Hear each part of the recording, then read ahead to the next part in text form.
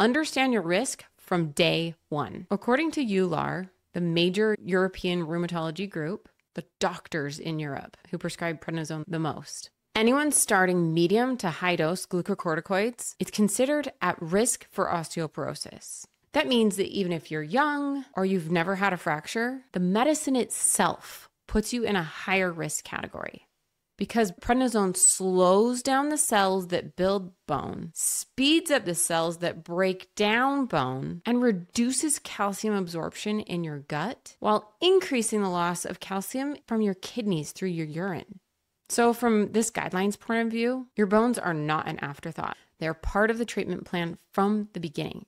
What this means for you is simple. Ask your doctor, since I'm on this dose of prednisone, what's our plan to protect my bones? One study showed that most doctors don't have this conversation.